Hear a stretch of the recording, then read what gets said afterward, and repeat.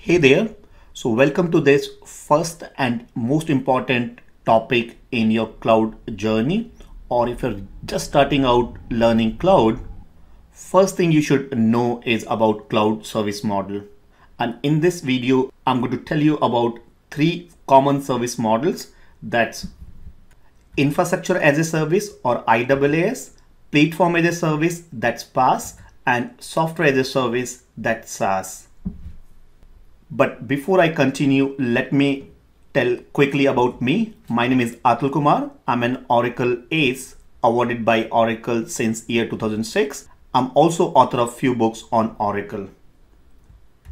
And before I tell you about cloud service model that's SaaS, PaaS, IaaS, let's first understand what exactly is cloud computing means. Word cloud computing normally means delivery of computing services over the internet.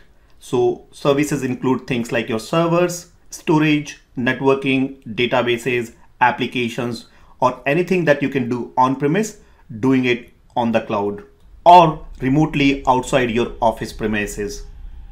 Now, the most common question when I tell this definition to my students is why then we are already doing on-premise or a managed services, how is cloud computing different or different from managed services. So cloud computing has some specific properties or characteristics.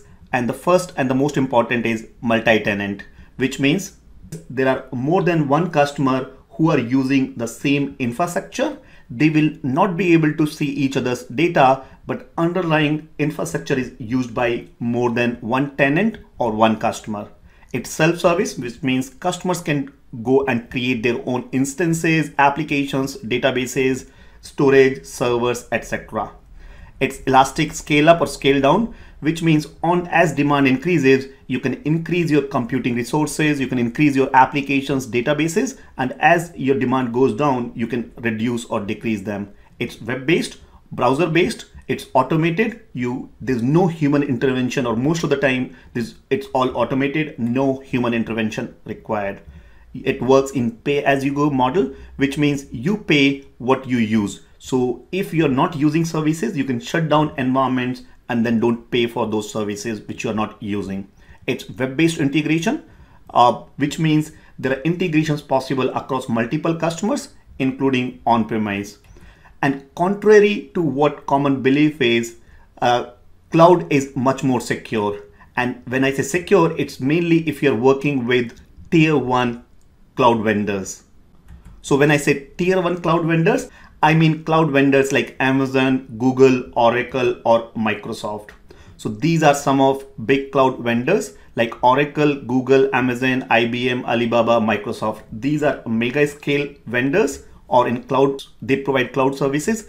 There are other cloud vendors as well, but but the main you should be or primarily if you work, you should be working for these uh, mega scale vendors. They have their security or they are working actively on improving or making cloud secure. So now once you know the cloud vendors, let's start looking at this cloud service model. As I said, this is the first and most important thing you should know so that then you can see in which field you want to specialize or in which field you want to go further down or learn more in terms of cloud. Do you want to go software as a service, platform as a service, infrastructure as a service? I'll also tell you based on your background, which one you should start with or which one should you focus first. So if you're a DBA, which one you should pick? Or if you're an apps DBA, if you're a system administrator, if you're a functional consultant, which one to pick first. But before I tell you about that, let's first look at these three service models. So what you see on extreme left hand side, this is traditional on-premise, your deployment or IT setup where networking, storage, servers, virtualization, operating system, middleware, applications running on middleware, data or applications, entire thing is managed by customer or client in client's premises. So that's called as traditional on-premise deployment. And this was very common till 2003, 4 or 2006 till Amazon came. So this was traditional on-premise model. Then you have infrastructure as a service. In infrastructure as a service, the networking layer, the storage layer, the servers layer, and the virtualization layer. These layers are provided by the cloud vendor.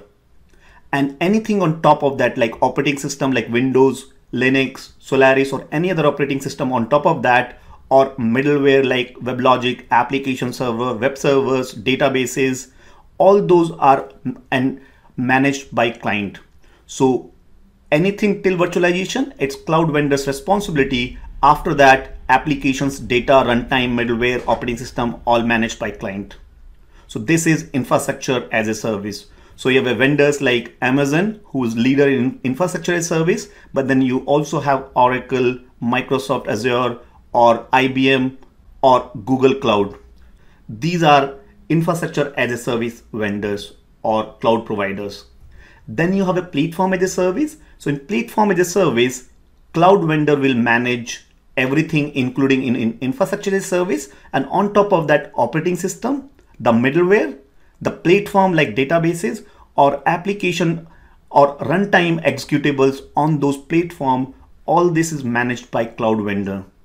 So for example, if you're a DBA, the databases will be deployed by the cloud vendor or if you are a WebLogic administrator, application server administrator, then your platform will be managed by the cloud vendor. They will give you all the necessary tools.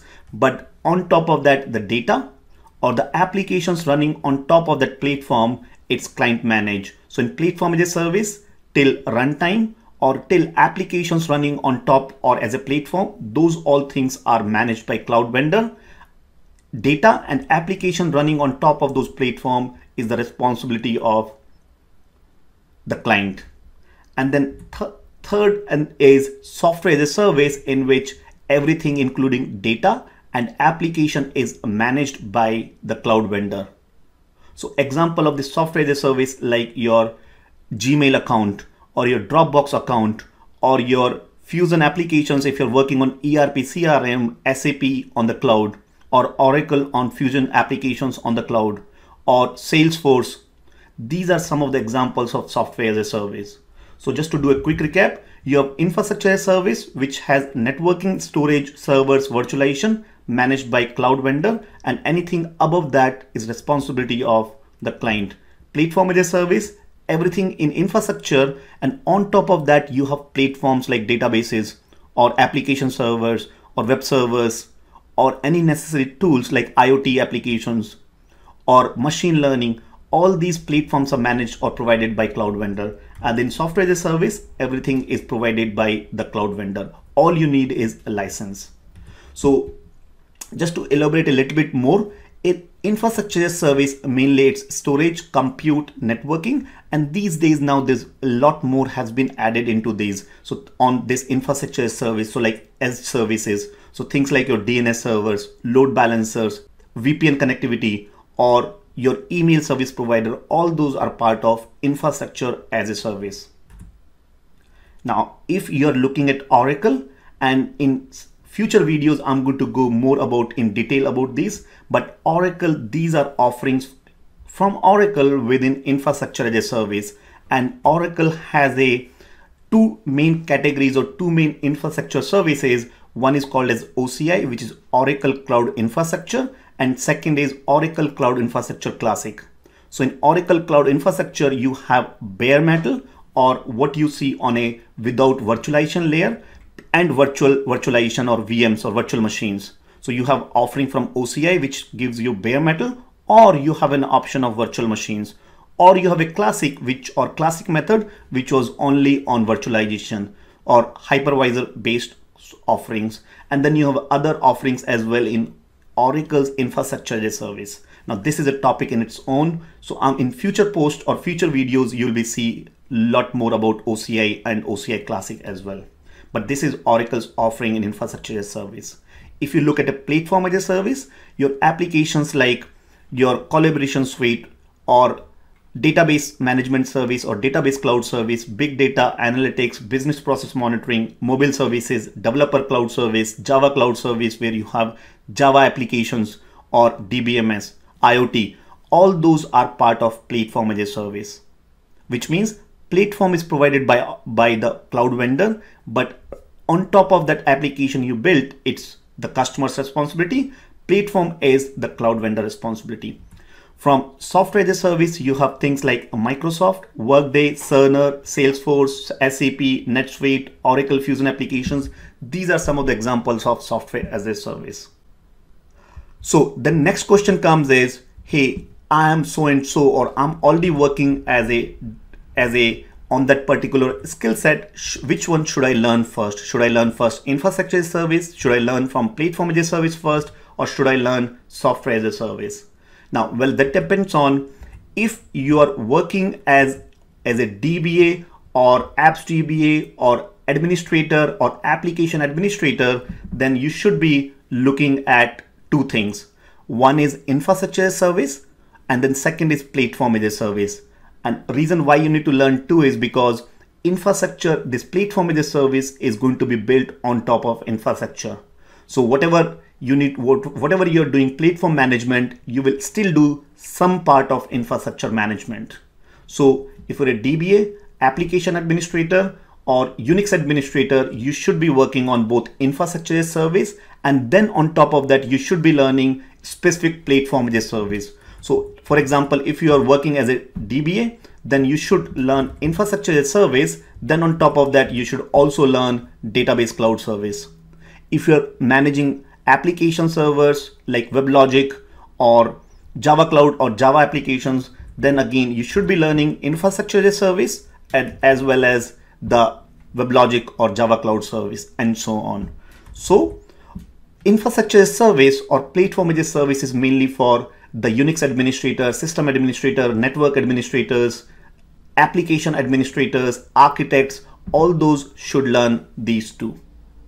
If you are a functional consultant, then you should be better learning software as a service. So typical examples are HR, HRMS consultant or, or financial consultant or anything where you have you're working on a packaged application, then you should be as a as a business user, then you should be working on software as a service. Again, this is just a high level which I've covered. Now, if you have any question with respect to this service model or you're not sure where you should, where you need to start, then leave a comment on wherever you're watching this. There should be a comment box. So have a look at or leave a comment for me and I'll be definitely responding to your query. So well, this is pretty much it in a short video. I'm going to in future also, we are going to post these short under 10 minute clips where we cover a specific topic in cloud and we add or we provide more and more information or answer some of the commonly asked questions. So if you like this video, why don't you start your cloud journey? There is a seven days free trial is available on k21academy.com forward slash try cloud and start your journey to cloud. Well, that's it from me, Atul Kumar from team K21 Academy. Until next video, keep learning cloud and don't forget to try out this seven days free trial journey to cloud where you learn step by step on everything related to cloud from a beginners all the way to advanced cloud architect. And if you like it, don't forget to share this video with your colleagues and friends. Bye for now.